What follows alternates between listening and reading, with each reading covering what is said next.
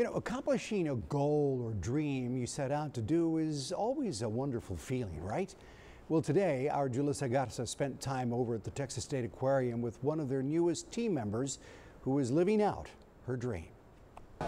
Here at the Texas State Aquarium, there's a new member of the marine mammal team, and she tells me that this is like a dream come true. I had always dreamed about working with dolphins and marine mammals, but you don't really know what it's like until the dolphin is right there sitting in front of you. And that's a very special bond that you can't really form anywhere else. Sophia Timmons knew she wanted to work with animals at a young age.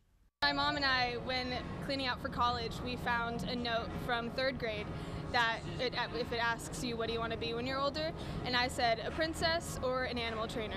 In seventh grade, she was able to see up close and personal what she dreamed of doing. That's when it all set in. I had the opportunity to go to different SeaWorld camps throughout summer, and while I was there, I got to see what it really took to be a trainer in this field. Part of her journey to get where she is today was attending Texas A&M University Corpus Christi and volunteering at the aquarium she now works at.